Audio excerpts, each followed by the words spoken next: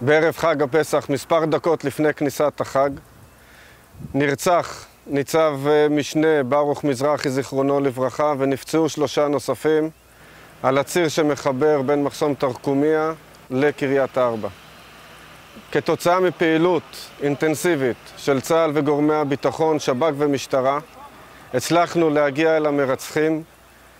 אה, פלסטיני, תושב עידנה, הוא ועוד מספר נוספים מהכפר למעשה נעצרו בימים האחרונים.